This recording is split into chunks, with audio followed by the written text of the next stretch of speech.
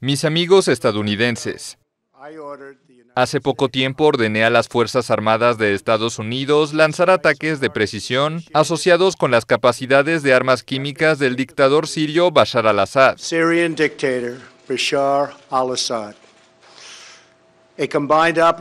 Una operación combinada con las Fuerzas Armadas de Francia y Reino Unido está en camino.